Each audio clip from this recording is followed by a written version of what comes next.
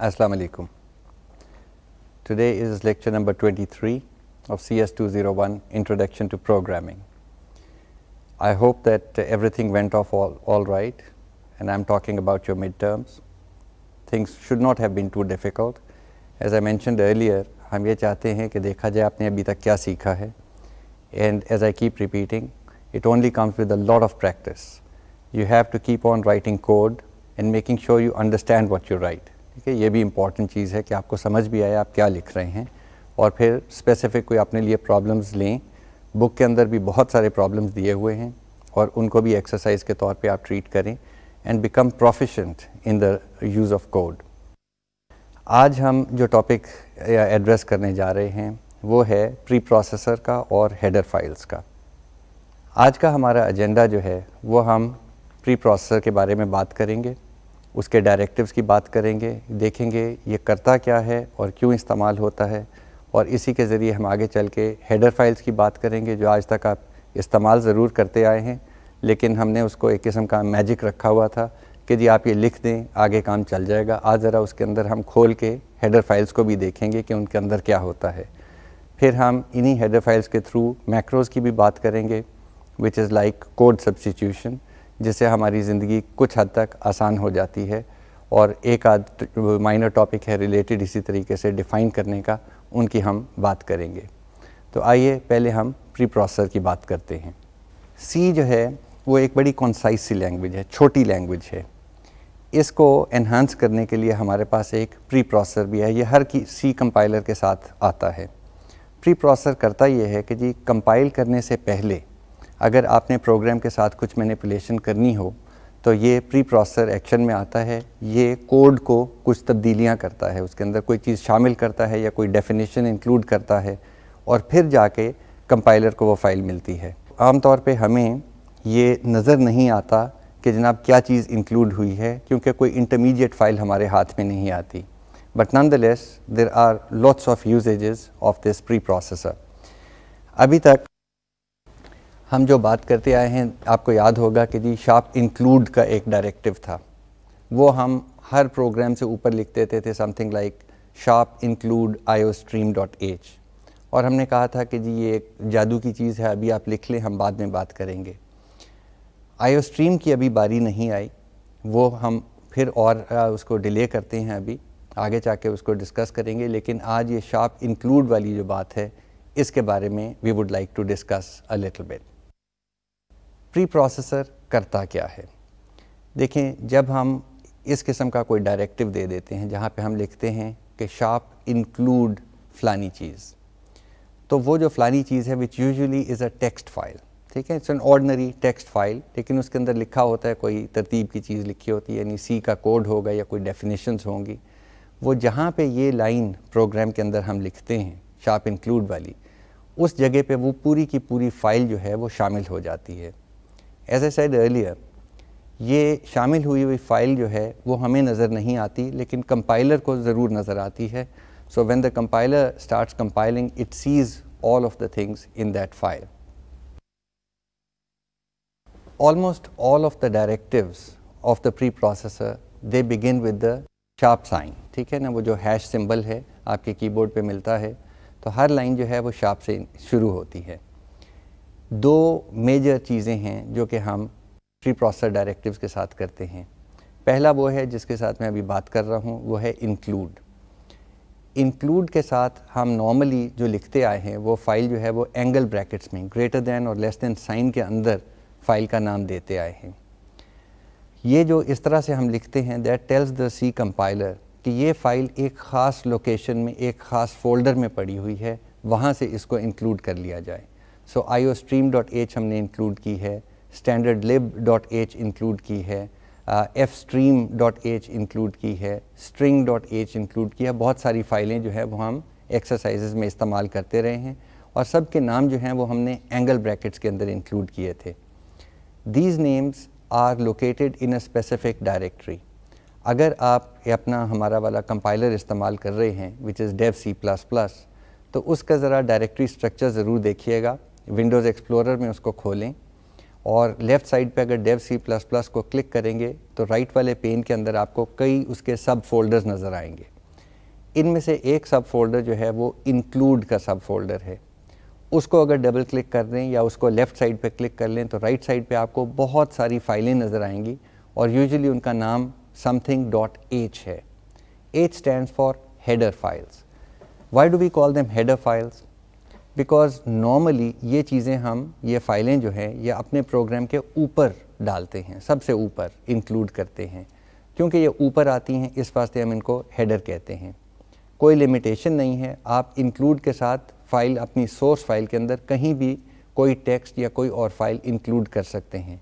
Of course it has to make logical sense कि एक programme चल रहा है, उसका एक हिस्सा कहीं और आपने लिखा है, वो इंक्लूड करके यहाँ पे ले आए। It has to be in the proper position but nonetheless normally, these .h files and the h again stands for header are included at the top of the program. Why do we need these header files? देखिए, जब हमने functions की बात की थी, बहुत अर्सा पहले तो हमने बात की थी कि जी, अगर प्रोग्राम के अंदर लेट्स से आपके मेन के अंदर कोई भी फ़ंक्शन आपने रेफ़र करना हो, या फ़ंक्शन कॉल करनी हो तो फ़ंक्शन का प्रोटोटाइप जो है वो पहले डिफ़ाइन करना लाजमी है यानी कंपाइलर को ये पता होना चाहिए कि फ़ंक्शन का नाम क्या है, इसके आर्गूमेंट्स क्या हैं और ये रिटर्न क्या करता है। ये चीज़ें पता होंगी तो फिर वो पहला पास जो है कंपाइलेशन का, वो उससे गुज़र सकता है। जहाँ तक रही बात कि वो फ़ंक्शन कब इस हमारे प्रोग्राम के अंदर शामिल होगा नॉर्मली फ़ंक्शंस जो हैं या लाइब्रेरी फ़ंक्शंस जो हैं, वो अलहदा से कंपाइल्ड लाइब्रेरीज़ में पड़े होते हैं। वो लिंकर का काम है कि जी उस वक्त जब आपका ऑब्जेक्ट कोड बन गया, यानी सोर्स कोड से कंपाइलर ने पहला पास कर लिया और सोर्स कोड को कन्वर्ट कर दिया into object code object code is machine code लेकिन ये अभी चल नहीं सकता। It is not executable code जिसको हम कहते हैं रीलोकेटेबल एक्सिक्यूटेबल वो नहीं अभी बना। ऑब्जेक्ट कोड जब बन जाता है, उसके साथ बाकी लाइब्रेरीज़ में से वो फ़ंक्शंस का ऑब्जेक्ट कोड शामिल किया जाता है, जो कि हमारा प्रोग्राम इस्तेमाल करता है। वो जब प्रोग्राम शामिल हो जाता है, फिर इसके साथ कुछ मेमोरी लोकेशंस वगैरह की इंफॉर्मेशन साथ इंक्लूड करके फिर हमारी एक्सिक्यूटेबल फ़ाइल बनती है। ये तो लिंकर का काम है। कंपाइलर ने इस वक्त तक क्या किया कि हमने जो भी फ़ंक्शन इस्तेमाल करना था, उसको कंपाइल करके मशीन कोड में उसका नाम और आर्गूमेंट्स जो हैं इंक्लूड कर लिए। लेकिन कंपाइलर ये भी चेक करना चाहता है कि ये फ़ंक्शन कॉल जो हमने लिखी है, ये वैलिड है कि नहीं है। इसकी वैलिडिटी चेक करने के लिए कंपाइलर ये चाहता है कि या तो फ़ंक्शन की डेफिनेशन पहले आ चुकी हो, यानी पूरा फ़ंक्शन करता क्या है। और अगर डेफिनेशन नहीं आई तो कम अज़ कम उसकी डिक्लेरेशन यानी प्रोटोटाइप आ गया हो, ताकि फ़ंक्शन की शक्ल नज़र आ जाए। जब तो हम अपने फ़ंक्शन लिख रहे हैं तो हमारे पास ये दोनों ऑप्शंस हैं कि हम फ़ंक्शन ऊपर डिफ़ाइन कर दें, फिर हम मेन के अंदर आएँ, जहाँ पे हमने ये फ़ंक्शन इस्तेमाल करना है and we go on like that in which case the definition of the function जो ऊपर हमने लिखी है, वो प्रोटोटाइप का भी काम कर देती है और डेफिनेशन का भी काम कर देती है। दोनों काम हो जाते हैं। मेन के अंदर हम वो लाइन लिख सकते हैं जहाँ वो फ़ंक्शन कॉल कर रहे हैं और कंपाइल करते वक्त वो फ़ंक्शन भी कंपाइल हो जाता है और मेन भी कंपाइल हो जाता है। लिंक करें और चला लें। In case and as the programs become big ये मुश्किल हो जाता है कि जी सारे फ़ंक्शंस पहले ऊपर डिफ़ाइन किए जाएँ। कई दफ़ा हम करते हैं कि फ़ंक्शंस एक अलहदा फ़ाइल में डिफ़ाइन कर देते हैं और उसको अलहदा से कंपाइल करके ऑब्जेक्ट फ़ाइल बना लेते हैं। और मेन के अंदर सिर्फ़ वो फ़ंक्शंस इस्तेमाल करना चाहते हैं। इस केस के अंदर हम फ़ंक्शन की, क्योंकि डेफिनेशन अब किसी और फ़ाइल में या कहीं और पड़ी हुई है, हम चाहते हैं कि फ़ंक्शंस की डिक्लेरेशंस ऊपर आ जाएँ। वही बात कि अगर ये प्रोग्राम जो है हमारा ये कॉम्प्लेक्स हो गया और इसके अंदर बीसियों फ़ंक्शंस हैं तो या तो आप मेन के ऊपर वो बीसियों जो है डेफिनेशंस या प्रोटोटाइप्स लिखें और फिर जाके मेन की बॉडी जो है वो लिखनी शुरू करें। दूसरा तरीका ये है कि आप अपनी खुद हेडर फ़ाइल एक बना लें। So you can call it something like my header dot H ये जो फ़ाइल है, इसके अंदर कुछ भी नहीं होगा, सिर्फ़ फ़ंक्शन प्रोटोटाइप्स लिस्टेड होंगे। ये फ़ंक्शन प्रोटोटाइप लिख के लिख के इस फ़ाइल के अंदर आप इसको सेव कर दें ऑर्डनरी टेक्स्ट फ़ाइल के तौर पे। अब जब आप मेन लिखने आते हैं तो उसमें जो सिस्टम रिक्वायरमेंट्स हैं, यानी sharp include I O stream dot H अगर आपने इनपुट आउटपुट करनी है, वो तो आप लिख लेंगे। उसके बाद आप शार्प इंक्लूड के साथ माई हेडर डॉट एच भी बीच में लिख देंगे। नॉर्मली क्योंकि ये फ़ाइल जो है, ये हमारे किसी फ़ोल्डर में पड़ी होती है, और नॉर्मली उस फोल्डर में जहाँ पे हमारा मेन प्रोग्राम जो है, उसका सोर्स कोड पड़ा हुआ है। इस वास्ते इसको एंगल ब्रैकेट्स में इंक्लूड नहीं किया जाता। इसको डबल कोटेशन मार्क्स के अंदर इंक्लूड किया जाता है। डबल कोटेशन मार्क्स में जब हम फ़ाइल का नाम देते हैं तो इंक्लूड जो है वो करंट वर्किंग डायरेक्टरी के अंदर उस फ़ाइल को ढूंढता है। So keep that difference in mind कि when we include the name of a file in angle brackets then the C compiler looks in a specific location वो लोकेशन जो कि कंपाइलर को पता है कि जी इंक्लूड फाइल्स कहाँ पड़ी हुई हैं।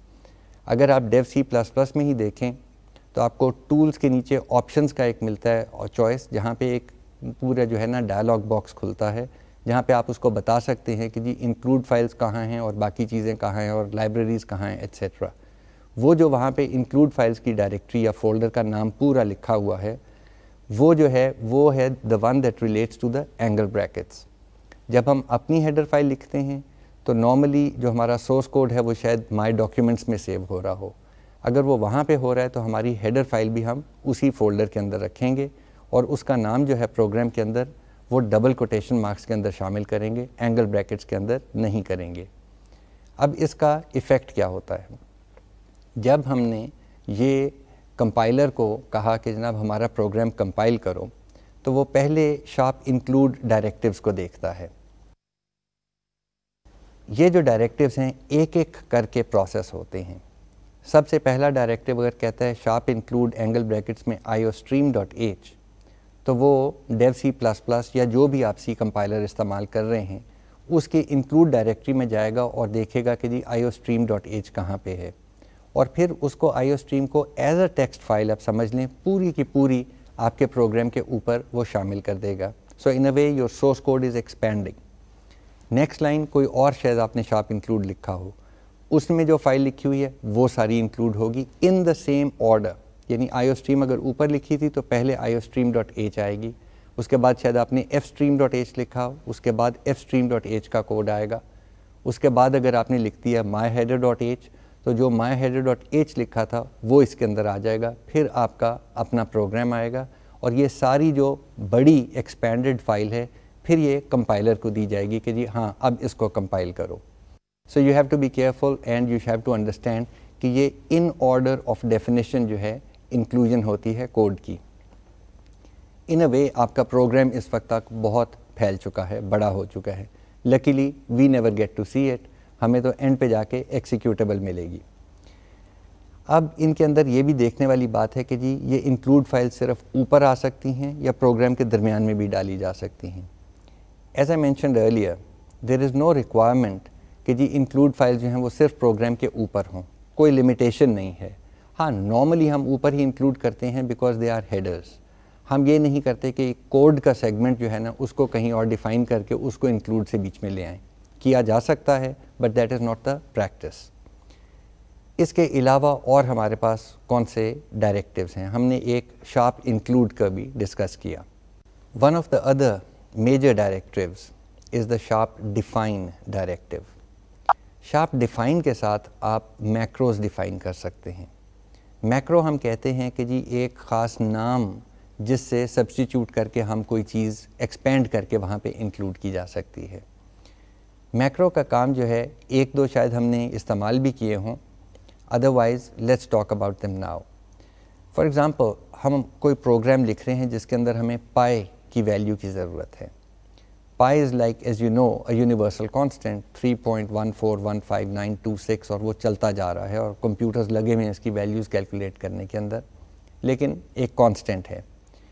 बजाय इसके कि हमारे कोड में जहाँ पे भी पाए की वैल्यू की हमें ज़रूरत हो, वहाँ पे हम ये वैल्यू लिख रहे हों 3.1519 वटेवर उससे बेहतर यह है कि शायद हम एक जगह पे कहीं पे पाए डिफ़ाइन कर दें।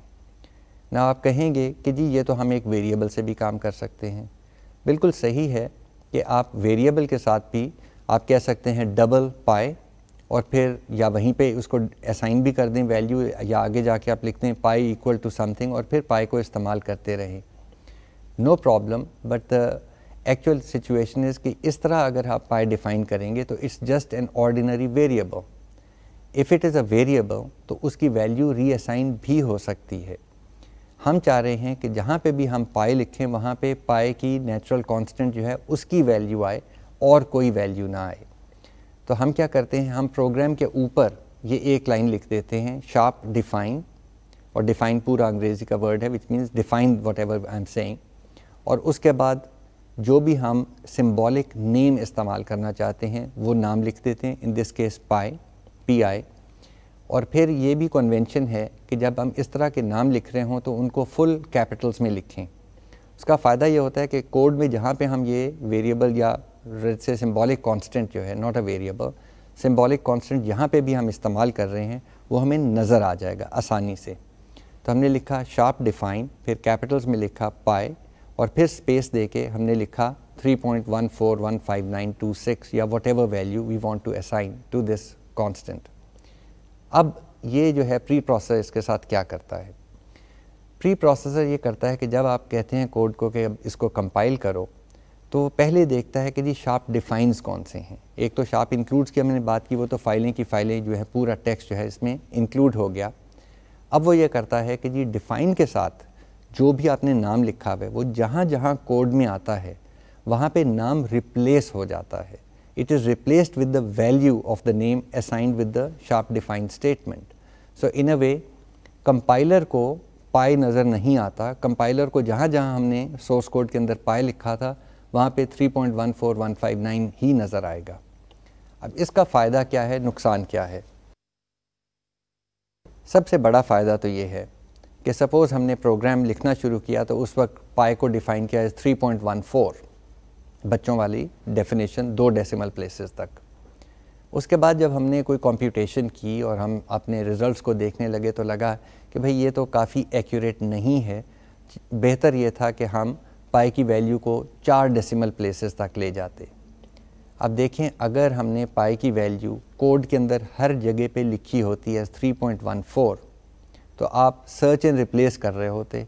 और उसको रिप्लेस कर कर के हर जगह पे उसको 3.141596 लिख रहे होते। प्रॉब्लम कहीं ना कहीं कोई वैल्यू मिस भी हो सकती है। एक, दूसरा, कि शायद 3.14 कहीं और लिखा हो, किसी और वजह से, और वो पाए ना हो, कोई और कांस्टेंट हो टैक्स रेट हो अगर किसी ने फ़नी टैक्स रेट रखा हुआ है, और उसको भी हम पाए की वैल्यू के साथ ही बदल दें। So you can do a blind search and replace and expected to work it's much nicer कि पाए ऊपर हमने डिफ़ाइन किया हुआ है और नीचे पी आई जो सिंबल है, वो इस्तेमाल कर रहे हैं कोड के अंदर। जब हमने वैल्यू को अपडेट करना है, बदलना है या उसको ज़्यादा डेसिमल प्लेसेस तक इस्तेमाल करना है तो प्रोग्राम में एक जगह पे जाके हमने पाई की वैल्यू बदली और फिर जब कंपाइल करेंगे तो हर जगह पे वो वैल्यू सब्सटीट्यूट हो जाएगी। इस चीज़ का ख्याल रखिए कि जब हम शार्प डिफ़ाइन के साथ कोई इस तरह सिम्बॉलिक नेम जो है वो एसोसिएट करते हैं तो वो एक्चुअल कोड में सब्सटीट्यूशन होती है before it goes to the compiler this gives us very nice control कि जी एक जगह पे वैल्यू बदली, पूरा प्रोग्राम जो है वो अपडेट हो गया। इसको कंबाइन करें शार्प इंक्लूड के साथ। कि जी हमने एक माई हेडर डॉट एच भी लिखी थी अपनी हेडर फ़ाइल तो क्यों ना पाए कि डेफिनेशन हेडर फ़ाइल में ही डाल दें। उसका फ़ायदा क्या होगा? जहाँ जहाँ वो हेडर फ़ाइल इस्तेमाल होगी। वो ऑटोमेटिकली पाए की नई वैल्यू जो है, वो वहाँ पे अपडेटेड मिलती रहेगी आपके प्रोग्राम को। फॉर एग्ज़ाम्पल अगर आपके पास पाँच फ़ंक्शंस हैं और पाँच फ़ंक्शंस के अंदर पाए इस्तेमाल होना है, और आपने उनकी अलहदा अलहदा सोर्स कोड फाइल्स बनाई हुई हैं रादर देन एक लंबी फ़ाइल के तो आपको पाँच जगह पे शार्प डिफाइंड पाए 3.14 एट्सेट्रा करना पड़ेगा। वो भी आप हेडर फ़ाइल में ले जाएँ। अब अगर आपने वैल्यू अपडेट करनी है तो सिर्फ़ अपनी हेडर फ़ाइल को अपडेट करें जब भी आप प्रोग्राम को रिकम्पाइल करेंगे everything will be updated so it's a nice way of doing things एक चीज़ क्लियर करता चलूँ। ये जो हमारे प्री प्रोसेसर डायरेक्टिव्स हैं शार्प इंक्लूड शार्प डिफाइन ये सी की स्टेटमेंट्स नहीं हैं। Since they are not C statements इनके एंड पे हम सेमिकोलन नहीं लगाते। इस चीज़ का ख्याल रखिएगा otherwise that becomes like a syntax error या कुछ अजीब किस्म के साइड इफ़ेक्ट होने शुरू हो जाएँगे। सिर्फ़ यही दो प्री प्रोसेसर डायरेक्टिव्स हैं, नहीं, काफ़ी सारे और हैं। ये लिस्ट भी आप देख लीजिए, आपके हैंडआउट में भी दी हुई है। ख्याल रहे कि प्री प्रोसेसर डायरेक्टिव सब जो हैं, वो शार्प साइन के साथ शुरू होते हैं। इसके साथ हम कंडीशनल कंपाइलेशन भी कर सकते हैं। इफ़ भी है हमारे पास sharp if sharp else sharp end if और अगर एल्स इफ़ इस्तेमाल करना चाहें हम तो उसके लिए sharp E L I F el if ये भी चलता है। उसके बाद हम ये भी चेक कर सकते हैं कि जी कोई सिंबल जो हमने डिफ़ाइन किया हुआ है कि नहीं। So we can say if def और अगर डिफ़ाइन किया हुआ है, यानी जैसे हमने पाई इस्तेमाल किया तो वी कैन ऑलवेज से कि जी if sharp if def pi which means अगर पाई डिफ़ाइन हुआ हुआ है तो फिर ये करो। तो और नीचे कुछ और हमारे पास स्टेटमेंट्स आ जाएँगी। ये कंडीशनल कंपाइलेशन के अंदर चली जाती हैं। दूसरी चीज़ जो इंपॉर्टेंट है कि फॉर एग्ज़ाम्पल अगर पाए ऑलरेडी डिफाइंड हो यानी शार्प डिफाइंड पाए कहीं पे किया हुआ है तो it is an error to try and define it again इस वास्ते उसको पहले अनडिफाइन करना लाजमी है और अनडिफाइन के लिए शार्प अनडेफ आ जाता है।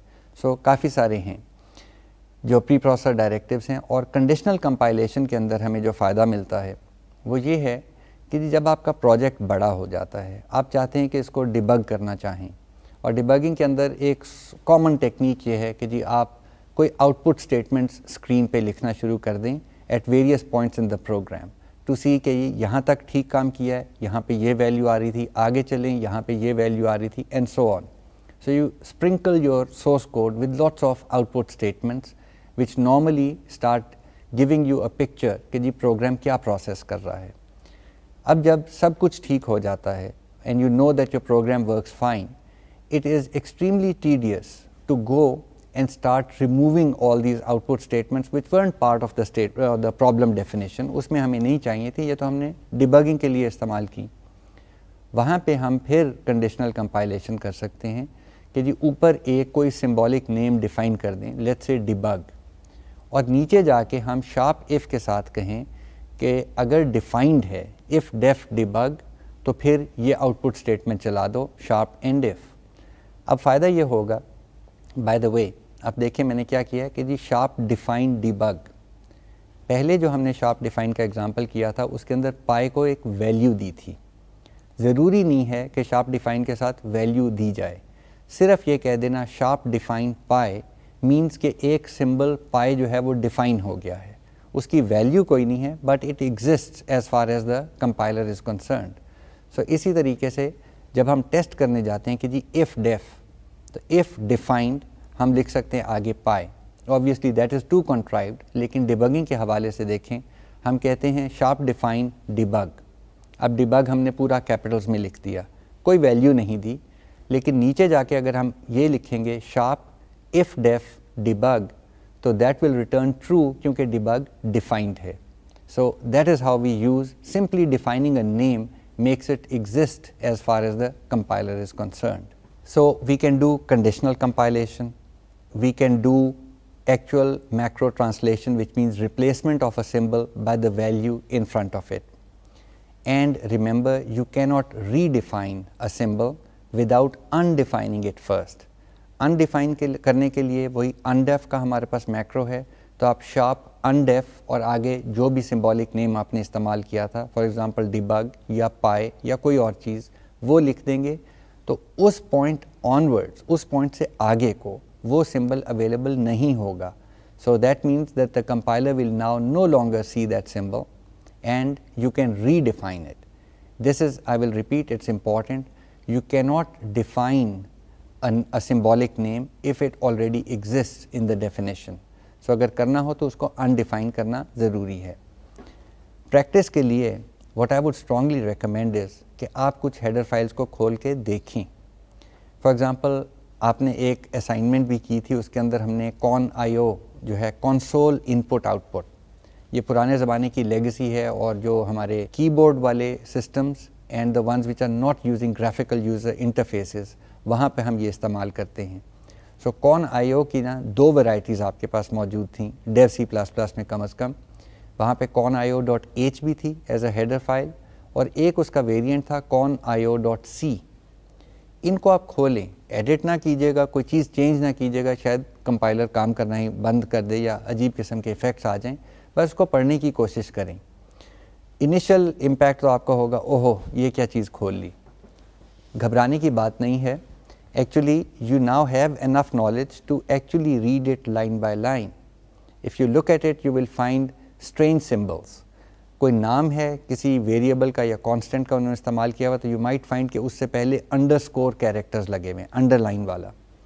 मैंने एक लेक्चर में पहले भी ज़िक्र किया था कि बहुत सारे इंटरनल कांस्टेंट्स हैं या इंटरनल सिंबॉलिक नेम्स जो हैं, जो कंपाइलर्स हमारे इस्तेमाल करते हैं, उनका नाम नॉर्मली डबल अंडरस्कोर के साथ शुरू हो रहा होता है। लिहाजा it is good programming practice कि हम अपने लिए कोई ऐसे वेरिएबल्स इस्तेमाल ना करें जिनका नाम जो है वो डबल अंडरस्कोर से शुरू हो रहा हो। That was just an aside but if you look at some of these files which we have been using in our programs you will file find for example ये कौन आयो के अंदर आपको गेट सी एच ई की definition भी मिलेगी। एक फ़ाइल में सिर्फ़ लिखा होगा int get C H E parenthesis which means it's a declaration दूसरी वाली फ़ाइल के अंदर इसका पूरा कोड भी दिया हुआ है। So in a way the function is defined over there so you might want to compare and read through these files and it's interesting to understand कि जी चीज़ें जो डिफ़ाइन की गई हैं, जब आप इंक्लूड करते हैं, पूरी फ़ाइल आपके प्रोग्राम के अंदर चलेगी और वो डिफ़ाइंड चीज़ें जो हैं, वो आपके प्रोग्राम को अवेलेबल हो जाती हैं। फॉर एग्ज़ाम्पल इसी को एग्ज़ाम्पल को ले लें अगर कि अगर कौन आयो डॉट सी या कौन आयो डॉट एच आप इंक्लूड नहीं करते अपने सोर्स में और आप वहाँ पे कहीं पे जाके कह देते हैं get C H E which is get character with echo for those of your interested कि जब हम की दबाएँ तो वो एको भी करे स्क्रीन पे भी नज़र आए कि हमने कौन सा बटन दबाया है। सो गेट सी एच ई अगर हमने प्रोग्राम में लिखा और ऊपर इंक्लूड नहीं की फ़ाइल तो you will get a compiler error वो जो नीचे वाला आपकी एरर स्टेटमेंट्स आ रही होती हैं, छोटी विंडो के अंदर, वहाँ पे आ गया, आ जाएगा। Something like get C H E not defined इस वजह से कि हमने वो हेडर फ़ाइल इंक्लूड ही नहीं की, जिसके अंदर इस फ़ंक्शन की डेफिनेशन है। Again one of these two there's a very interesting construct right at the top, which says something like, if def c plus plus तो फिर एक्सटर्न सी करके लिखा हुआ है कुछ, और फिर एंड है विच मीन्स अगर आप उसको सी कोड के हवाले से अगर देखें तो लगता ये है कि जी अगर कोई चीज़ डिफाइंड है तो फिर उसने एक लाइन लिखी है जो कि इस फ़ाइल के अंदर इंक्लूड की जानी चाहिए। वो लाइन अगर देखें तो उसके अंदर ब्रेस भी डला हुआ है। एक ओपनिंग कर्ली ब्रैकेट डला हुआ है। तो अगर ओपनिंग कर्ली ब्रैकेट है तो वो ख़त्म कहाँ होता है? Go to the bottom of the same file I don't remember which one it is but go to the bottom of that file con I O dot C probably और वहाँ पे आपको फिर वही इफ़ डेफ नज़र आएगा और उस इफ़ डेफ के साथ क्लोजिंग कर्ली ब्रैकेट डला होगा। सो so ये एग्ज़ाम्पल है कंडीशनल कंपाइलेशन की, कि जी अगर ये सिंबल डिफाइंड है तो ये लाइनें भी इंक्लूड करो और ये वाली लाइन भी इंक्लूड करो and then you got a code block यहाँ पे ऊपर भी एक ब्रेस है और नीचे भी एक ब्रेस है। So lots of things that you see in these files you I would strongly urge you कि जितनी आज तक हम इस्तेमाल करते आए हेडर फाइल्स उनको कम अज़ कम खोल के एक सरसरी नज़र ज़रूर गुजारें so that you can see कि जी हाउ प्रोफेशनल प्रोग्रामर्स या प्रोग्रामर्स जो कि कंपाइलर्स लिख रहे हैं, वो किस तरह से कोड लिखते हैं। अगर आपके पास लाइनक्स ऑपरेटिंग सिस्टम हो इट इज़ फ्री और उसका सोर्स कोड भी फ्री है, वो सारा सी में लिखा हुआ है। You can take a look at the functions written by the gurus और द सी गुरुज जो कि एक्चुअली लिख रहे हैं आपके string manipulation function string copy का सोर्स कोड आपको मिल जाएगा स्ट्रिंग कंपेयर का मिल जाएगा and it is a good idea to read how the masters write code शायद आपका स्टाइल भी जो है, वो उसके साथ अफेक्ट हो। Let's go on and look at a real macro macros जो हैं, वो दो मुख्तलिफ़ वराइटीज़ में आते हैं। एक मैक्रो हम इस्तेमाल कर चुके हैं, वो था शार्प डिफाइंड पाए और आगे उसकी वैल्यू दे दी। और ये एक्चुअली मैक्रो का मतलब है कि जहाँ पे पाए आएगा, वहाँ पे उसकी वैल्यू सब्सटीट्यूट हो जाएगी। इस तरह के जो सिंपल मैक्रोज हैं which are more like symbolic names being mapped on to constants वो तो हम आम तौर पे इस्तेमाल करते हैं। लेकिन एक और किस्म का मैक्रो है जो कि आर्गूमेंट भी लेता है। यानी it's a parameterized macro for example अगर मैं ये एक मैक्रो लिखूँ शार्प डिफाइन स्क्वायर और पेरेंथिस के अंदर एक्स अब मैं चाह ये रहा हूँ कि उसके बाद उसकी डेफिनेशन लिखूँ तो डेफिनेशन स्पेस छोड़ के हम लिखते हैं एक्स स्टार एक्स रिमेंबर ये प्री प्रोसेसर में लिख रहे हैं, ये सी का सोर्स कोड नहीं है, लिहाजा यहाँ पे सेमिकोलन नहीं डालेंगे। होगा ये कि जहाँ पे भी आपके प्रोग्राम में आपने लिखा स्क्वायर समथिंग तो कंपाइलेशन से पहले ही आपने लिखा वहाँ पे जाके लेट्स से स्क्वायर आई तो ये मैक्रो जो है वहाँ पे रिप्लेस कर देगा आई स्टार आई वहाँ पे लिखा जाएगा स्क्वायर गायब हो जाएगा पेरेंथिस गायब हो जाएँगे फुल सब्सटीट्यूशन हो जाएगी। जब आई स्टार आई लिखा गया, फिर आपने प्रोग्राम जो है वो कंपाइलर को दिया और उसने कंपाइल करके एक्सिक्यूटेबल कोड बना दिया। अब इसके अंदर थोड़ी सी प्रॉब्लम्स आ जाते हैं। प्रॉब्लम्स क्या आते हैं? सपोज़ मैंने यही डेफिनेशन ऊपर ली कि स्क्वायर एक्स और उसकी डिफ़ाइन कर दिया एक्स स्टार एक्स नीचे जाके मैंने कहा स्क्वायर और पेरेंथिस के अंदर लिख दिया आई प्लस जे अब ज़रा सब्सटीट्यूशन करें, देखें क्या होता है। एक्स की जगह पे हमने लिखा हुआ है आई प्लस जे सो जब सब्सटीट्यूट करेंगे, लिखा जाएगा without any parenthesis it will write I plus J star I plus J Now that certainly is not the square of i plus j. What it will be is i plus j times i plus j which is quite different. तो इसको कैसे overcome किया जाए इसको overcome करने का तरीका ये है कि जब भी आप कोई पैरामीटराइज्ड मैक्रो लिखें तो जहाँ पे आपने लिखा स्क्वायर एक्स और पेरेंथिस के अंदर एक्स है। आगे जब डेफिनेशन की बारी आती है तो पहले तो आप पूरी डेफिनेशन को पेरेंथिस में डाल दें। सो एक्स स्टार एक्स ना लिखें। आप पेरेंथिस के अंदर लिखें एक्स स्टार एक्स अभी भी काफ़ी नहीं है, क्योंकि एक्स का वही हाल होगा अगर नीचे आई प्लस जे आ गया। अब क्या करें कि जी एक्स को भी पेरेंथिस में डालें। So it start reading like sharp define square parenthesis X parenthesis close फिर स्पेस दे के ओपन पेरेंथिस और फिर एक्स जो है वो पेरेंथिस के अंदर आएगा, फिर स्टार आएगा, यानी मल्टीप्लाइड बाय और फिर पेरेंथिस के अंदर एक्स आएगा एंड पेरेंथिस क्लोज्ड अब इसको ज़रा गौर से देखें कि जब नीचे मैंने जाके कोड में लिख दिया स्क्वायर और पेरेंथिस के अंदर आई प्लस जे वहाँ पर क्या होगा कि वो पेरेंथिस भी यहाँ पे कॉपी हो जाएँगे। Now I will get i plus j with in parenthesis star I plus J within parenthesis and then the whole thing enclose within brackets this is the correct statement because it will say i plus j multiplied with i plus j. So, we can use this macro substitution. अब what is the difference between using this square x with a function called square x? कोई फ़ायदा नुकसान आपको नज़र आता है See, whenever we call a function, तो compiler ने भी कुछ काम करना है, लेकिन प्रोग्राम जब चल रहा होता है, उस वक्त काफ़ी सारा काम करना पड़ता है। आपको थोड़ा सा आइडिया होगा, अभी तक मेरे ख्याल इंट्रोडक्शन टू कंप्यूटिंग में भी इसके बात हुई थी, कि जी हमारी जो मशीनें हैं दिस थ्योरी ऑफ़ कंप्यूटेशन ये वॉन न्यूमैन मशीन जो है, ये स्टैक बेस्ड मशीन है। यानी पूरी मेमोरी को it makes it appear like a stack और होता यह है कि जी एक प्रोग्राम की जो स्टेट है, और स्टेट हम कहते हैं कि जी उसके जितने भी वेरिएबल्स हैं उनकी जो भी वैल्यूज़ हैं इस वक्त प्रोग्राम कहाँ पे है उसका line number and so on वो स्टैक पे पड़ा होता है और उस पर सेव करके फिर हम वहाँ पे कोई आर्गूमेंट या पैरामीटर जो भी लिखना है वो लिख के फिर हम फ़ंक्शन को कॉल भेज देते हैं। So function call that means it's like चलते चलते एकदम यहाँ पे रुक जाओ और यहाँ पे जाके कुछ काम करो और जब काम ख़त्म हो जाएगा तो वापस आके यहाँ से आगे को चल पड़ना। सो so, जब हम फ़ंक्शन कॉल करते हैं we go off to another place in the code, the code picks up the value from the stack, does some computation and then comes back, returns the control to the main program और वो आगे को चल पड़ता है What this means is that there is considerable overhead. इसको हम overhead कहते हैं यानी जब भी हम function को call करते हैं there is some extra work that needs to be done. Whenever we do a lot of function calls, एक loop है उसके अंदर function call हो रहा है बार बार हो रहा है तो ये ओवरहेड हर दफ़ा होगा। यानी जितनी दफ़ा लूप चलेगी, उतनी दफ़ा ये ओवर हेड इनकर होगा। एंड ओवर हेड को आप समझें कि ये कंप्यूटर टाइम है। सो टाइम वेस्ट होता है कंप्यूटिंग रिसोर्स वेस्ट होते हैं।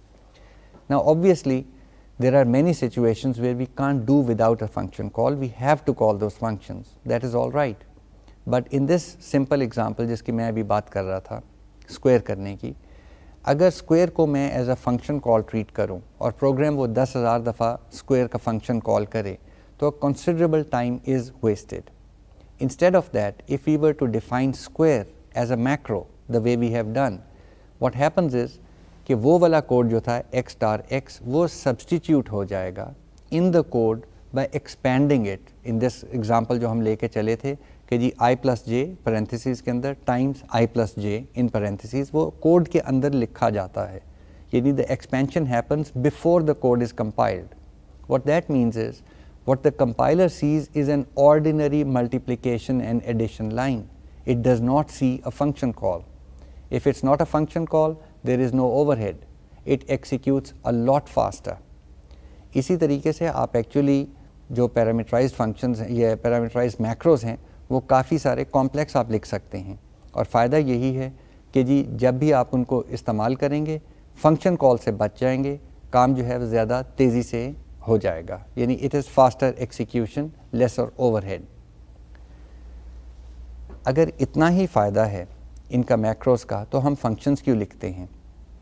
Well the answer is simple first one is code bloat यानी जहाँ पे भी आपने एक मैक्रो डिफाइन करके उसको पैरामीटराइज मैक्रो की डेफिनेशन दी वो डेफिनेशन लिखे नीचे लिखी जाएगी। विच मीन्स अगर वो बार बार कोड के अंदर आप शामिल कर रहे हैं तो आपका कोड मोटा होता जाएगा ब्लोट कर जाएगा। So that is called code bloat the plus side is you getting faster execution the down side is you got a bigger program यानी उसकी एक्सिक्यूटेबल फ़ाइल भी बड़ी बनेगी। Sometimes function calls are necessary, you got to do some complex work. So, it is better to define things in functions and take the overhead of a function call. But for simple things like this square or some other definition or substitution, it is nice to be able to write it in line and let it be expanded as part of the preprocessor. जो छोटे छोटे points होते हैं इन चीज़ों के वो मैं mention करता चलता हूँ but you would also discover them by hit और trial but nicer to know जब भी हम कोई मैक्रो डिफ़ाइन करते हैं, जिसने आर्गूमेंट्स लेने हैं तो मैक्रो के नाम के फ़ौर बाद ओपन पेरेंथिस आ जाना चाहिए, यानी वहाँ स्पेस नहीं देनी। जैसे ही स्पेस दी तो वो शार्प डिफ़ाइन वाला पाए वाली सिचुएशन में आप चले गए कि जी, ये नाम है, इसकी जगह पे ये सब्सिट्यूट कर दो। हम चाह रहे हैं कि एक आर्गूमेंट वाला मैक्रो डिफ़ाइन हो तो उसके साथ मैक्रो के नाम के साथ ही आप पेरेंथिस ओपन कर देंगे, फिर अंदर एक या उससे ज़्यादा आप आर्गूमेंट्स दे देते हैं। ये नाम वही हैं जो सी वेरिएबल्स के नाम हैं। बिल्कुल उस, वही रूल्स इसको फॉलो करते हैं। और अगर एक से ज़्यादा हों तो कॉमा सेपरेटेड लिस्ट होगी। फिर आप पेरेंथिस बंद करते हैं। फिर स्पेस आती है। और स्पेस के बाद जो है, वो मैक्रो की डेफिनेशन आएगी। आइए ये एक एग्ज़ाम्पल देख लेते हैं, जो ज़रा सा ज़्यादा यूज़फुल है। यहाँ पे हम एरिया ऑफ़ अ सर्कल का एक मैक्रो बनाते हैं। अब एरिया ऑफ़ अ सर्कल आपको पता है वो पाई आर स्क्वेयर्ड है where r is the radius of a circle so suppose we have a program जहाँ पे हमने सर्कल का एरिया जो है वो बार बार कंप्यूट करना है। So what we do is we try to write a macro so that the area of the circle is substituted with the actual algebraic expression जब भी हम कंप्यूट करना चाहें। सो so, ऊपर अब देखें इसको लॉजिकली हम दो स्टेप्स में करते हैं। पहले हमें पाए की ज़रूरत है। पाए बजाते ख़ुद एक नेचुरल कांस्टेंट है तो क्यों ना उसको भी डिफ़ाइन कर लिया जाए। तो क्योंकि हम पाए को इस्तेमाल करना चाहते हैं तो सबसे पहले पाए को डिफ़ाइन करें। तो हम कहते हैं शार्प डिफ़ाइन स्पेस पाए इन कैपिटल्स पी आई फिर स्पेस दे के पाए की वैल्यू लिख देते हैं the number which we want to use for pi और वो उतनी डेसिमल प्लेसेस का नंबर होगा जितनी हम इस्तेमाल करना चाहते हैं। यहाँ पे देखें इंट फ्लोट डबल नहीं चल रहे। This is a constant so you can use six decimal places और एट डेसिमल प्लेसेस वो कंप्यूटेशन के अंदर इस्तेमाल होंगी। जब पाई डिफ़ाइन हो गया नेक्स्ट लाइन कहती है sharp define circle area again from a perspective of visibility it would be nice अगर आप सर्कल एरिया पूरा का पूरा कैपिटल्स में लिखें। अब सर्कल एरिया जो है, उसको एक तो पाई की ज़रूरत है। पाई ऑलरेडी डिफाइंड है और वो नेचुरल कांस्टेंट है so it's no need to pass it to this function लेकिन एक चीज़ पास करने की ज़रूरत है वो है रेडियस तो रेडियस की जगह पे हम पेरेंथिस के अंदर एक्स लिख देते हैं। एक्स भी हम कैपिटल लिखेंगे ताकि वो क्लियर रहे कि जी ये आगे जाके सब्सिट्यूट हो जाएगा। सो so, हमने लिखा sharp define circle area parenthesis के अंदर कैपिटल एक्स और फिर स्पेस दे के सर्कल एरिया की डेफिनेशन आ जाएगी। अगर तो हम डेफिनेशन सिंपल लिखते हैं which is pi in capitals star x star x no semicolon तो ये सिंपल काम जो है वो कर देगा। जहाँ पे भी आप सर्कल एरिया को एक कोई वैल्यू दे रहे हैं, वहाँ पे ये कंप्यूटेशन ठीक हो जाएगी। लेकिन जैसे मैंने पहले अर्ज़ किया, अगर वहाँ पे आप रेडियस जो है एज एन एल्जेब्रिक या अरिथमेटिक एक्सप्रेशन दे रहे हैं तो ये डेफिनेशन फेल हो जाएगी। इसके लिए it is better to enclose all the x's in their own parentheses. So, we write pi star within parentheses capital X star within parentheses capital X और फिर चाहें तो सारे को parentheses के अंदर include enclose कर लें इसका फ़ायदा ये होगा कि अब ये छोटा सा प्रोग्राम आपको दिखाया हुआ है इसमें अगर देखें तो जहाँ पे जाके हम कहते हैं सर्कल एरिया रेडियस और रेडियस कोई वेरिएबल है जिसकी कोई वैल्यू है तो रेडियस जो है वो ऑटोमेटिकली सर्कल एरिया जो है वो पूरा का पूरा रिप्लेस हो जाएगा with pi star radius star radius with all the parentheses included and the answer of of course is the correct computation of the area of a circle on the other hand if we were to do something like कि जी इससे अगर दुगना बड़ा हो circle यानी उसका radius इससे डबल हो तो उसका एरिया क्या होगा?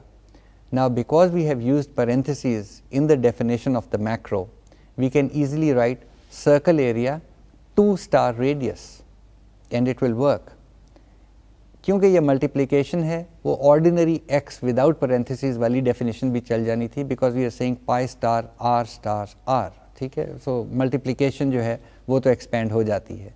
लेकिन अगर कहीं पे कोई एडिशन या सब्ट्रैक्शन आ जाती तो पेरेंथेसिस के बगैर ये डेफिनेशन फेल कर जाती।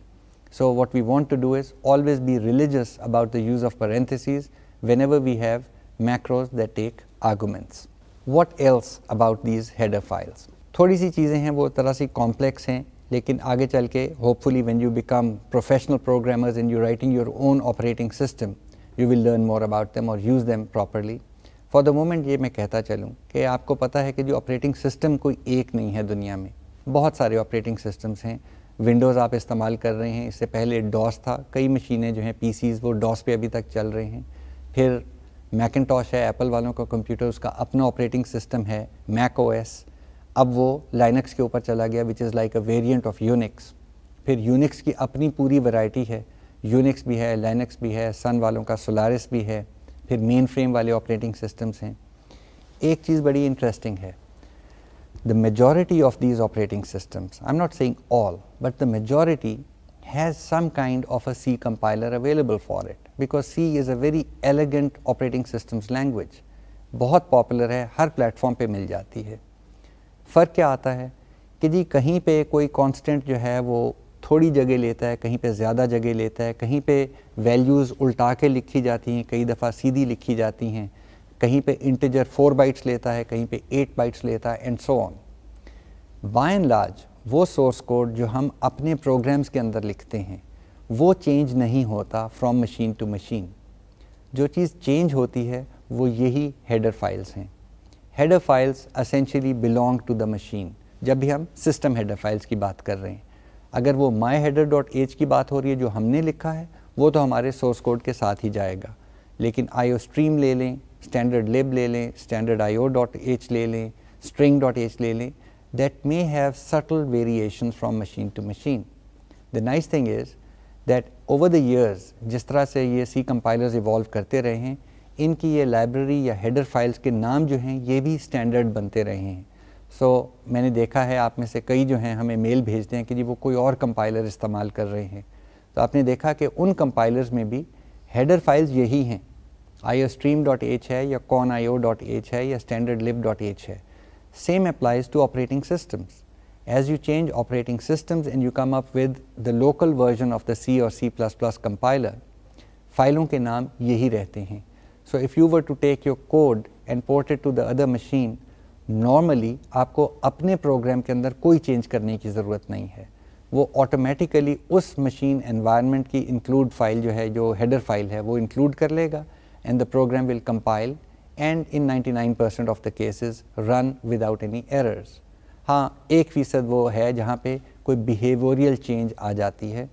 एक बिहेवियरल चेंज मैंने मेंशन भी की थी कि जी गेट सी एच ई जो है, वो कई दफ़ा सिर्फ़ की स्ट्रोक के ऊपर एक कैरेक्टर पढ़ लेता है और कई दफ़ा की स्ट्रोक और फिर एंटर भी दबाना पड़ता है, फिर जाके वो कैरेक्टर पढ़ता है। That's a behaviour change depends on the platform that you are using nonetheless using these header files leads to a lot of portability So you can use the system header files and not carry them with you, with you when you change programs from one operating system to another operating system.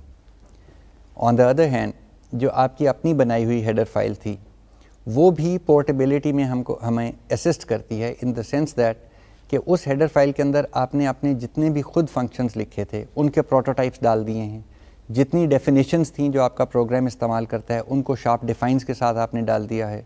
कोई macros लिखे हैं, वो उसमें डाल दिए हैं। बार बार repeat करने की ज़रूरत नहीं है। And usually what happens is that as we evolve as programmers we start creating a few standard header files for ourselves because of the style in which we work. हमारे स्टाइल में हम चाहते हैं कि जी हम इस तरह से डिफ़ाइन करेंगे। ये कुछ कॉमन फ़ंक्शंस हैं जो बना लिए हैं हमने तो ये हमारे लाइब्रेरी फ़ंक्शंस बन गए हैं। ये सारी चीज़ें हम माई हेडर डॉट एच या जो भी नाम आप अपने लिए क्रिएट करें, उसके अंदर हम डाल देते हैं। अब जब भी हम ऑपरेटिंग सिस्टम या मशीन चेंज कर रहे हैं तो ये हेडर फ़ाइल हमारे प्रोग्राम्स के साथ चली जाती है। या आपने किसी और प्रोग्राम मशीन के ऊपर बैठ के काम ही करना है तो आप अपनी हेडर फ़ाइल ले आएँगे भी मैंने तो अपना सारा ये काम किया हुआ है, नया प्रोग्राम जो लिखना है, उसमें ये इंक्लूड कर लो।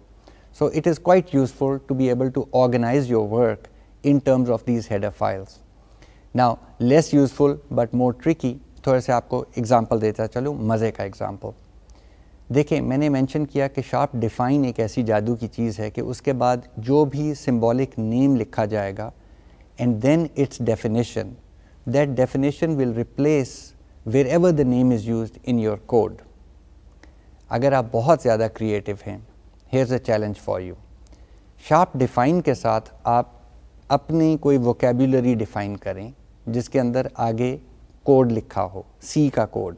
Remember, it's ordinary substitution. Everything you write after the sharp defined symbol name space दे के आगे जो चीज़ लिखेंगे वो एज इज़ रिप्लेस हो जाएगी। चैलेंज मैं इस वास्ते दे रहा हूँ कि मैंने देखा हुआ है एक जगह पे कि जी एक हेडर फ़ाइल इंक्लूड की हुई है और नीचे एक नज़म लिखी हुई है। It looks like an ordinary poem but every word in the poem is actually defined in the header file with a sharp define and it, it, translates into C code. So, by writing a poem which reads as an English poem, वो actually C का program hai. Now that is carrying things a little bit too far, but you notice that when we do a sharp define and start using header files, you can do some very interesting things.